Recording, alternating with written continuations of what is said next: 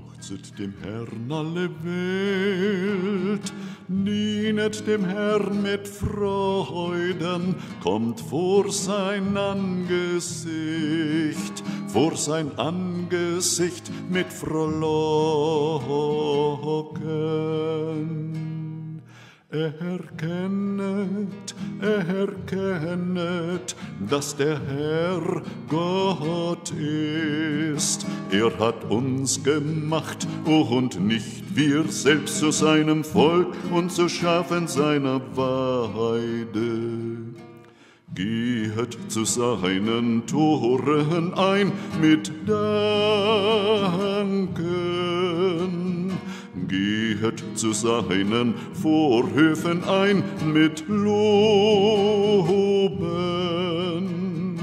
Danket ihm, danket ihm, lobet seinem Namen. Danket ihm, danket ihm und lobet seinen Namen. Denn der Herr ist freundlich, er ist freundlich, seine Güte wäret ewig und seine Wahrheit, und seine Wahrheit, seine Wahrheit wäret für und für.